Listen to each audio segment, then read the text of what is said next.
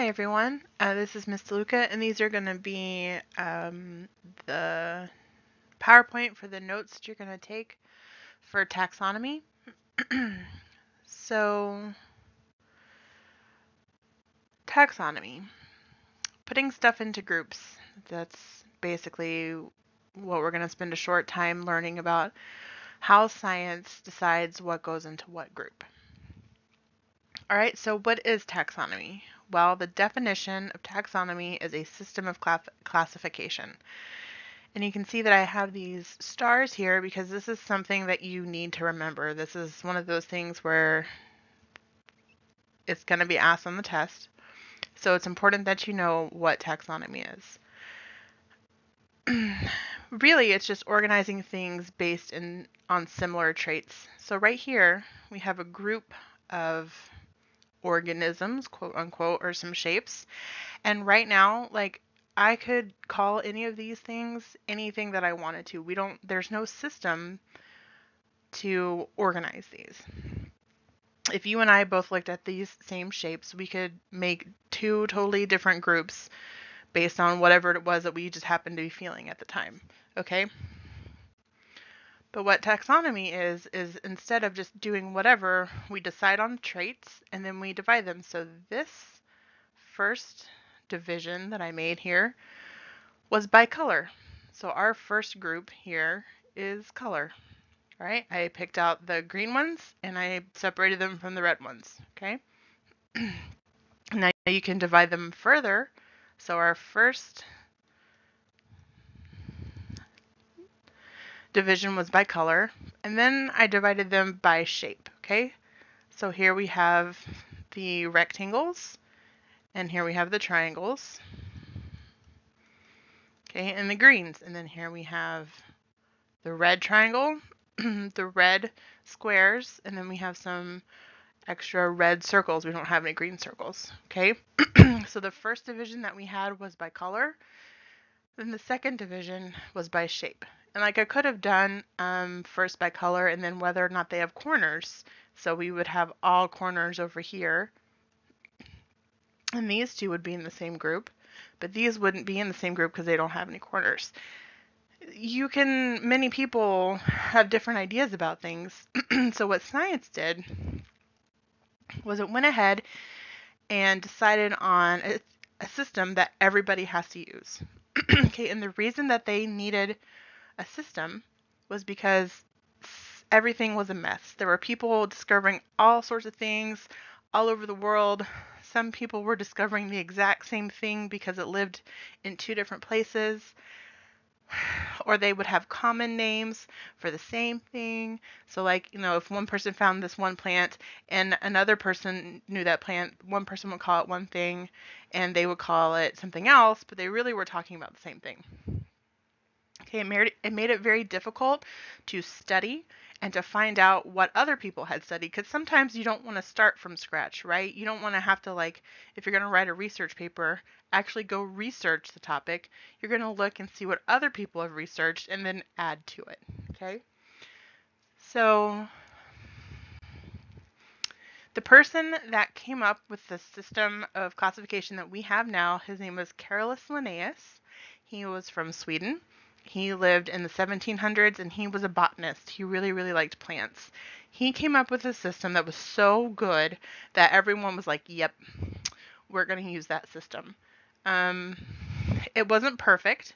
He actually included some categories for like mythical animals that, that did not exist, and eventually that got taken away. And people have been deciding and, and changing it around a little bit, but the basis is still the same. Okay, so this is how it works. they took all of life and they decided that life was going to be divided into three main groups, and we call those groups domains. Okay? So at first, they were grouped by either being a prokaryote, which is a bacteria that has no nucleus, or a eukaryote, which is everything else that has a nucleus. But there are so many bacteria that they decided to divide the bacteria into two groups archaea, which means old, and then new bacteria, which is just regular bacteria, or sometimes it's called eubacteria. So in the end, we ended up with three domains, archaea, bacteria, and eukarya. So um, archaea bacteria are bacteria that were alive at the very beginning of life on Earth. They live in really extreme environments, like in volcanoes or really salty water. Um, back, these bacteria are like the bacteria that live inside you in your digestive system and your reproductive system. uh, they're the ones that kind of are newer regular bacteria. And then eukarya, which are the eukaryotes, and that's literally everything else that's not a bacteria. So bacteria takes up two thirds of life in our classification system. There's a lot of bacteria. Okay? So then we take those three groups and we divide those three groups into six subgroups, and those subgroups are called kingdoms. Okay? So domain is first and kingdom is second. Okay? The kingdoms for bacteria were easy. Um, archaea are just called archaebacteria, and then bacteria are their kingdom is bacteria. Ooh, really creative. Okay? But eukarya has so much diversity that it had to be divided into four main groups. And they decided on those groups based on things like um, the type of cells that the organisms had, um, how they get energy, how they reproduce, um, whether they have like only one cell or multi cells, things like that. And then the those kingdoms are Animalia, which is our kingdom, um, Plantae, which is plants, fungi, which is fungus, and protista, which are kind of like um, the junk drawer. Like anything that doesn't fit into those other three kingdoms, we stick it there. Uh, sometimes they're like single celled organisms that do things like photosynthesis, or um, they're really primitive single celled organisms like Euglena or um, Paramecium, those kind of things, amoebas. Okay, those these four are all eukarya because they're all eukaryotic cells. They all have a nucleus. Okay? Then we take those kingdoms and we keep going down. So we divide those kingdoms into a subgroup called a phylum. So if domain's 1, kingdom's 2, then phylum is 3. And then we take those phylums and we divide them up into classes. We take those classes and then we divide them into orders. We take the orders and divide them into families. Take the families, divide them into genuses. And then we divide the genuses into specific species.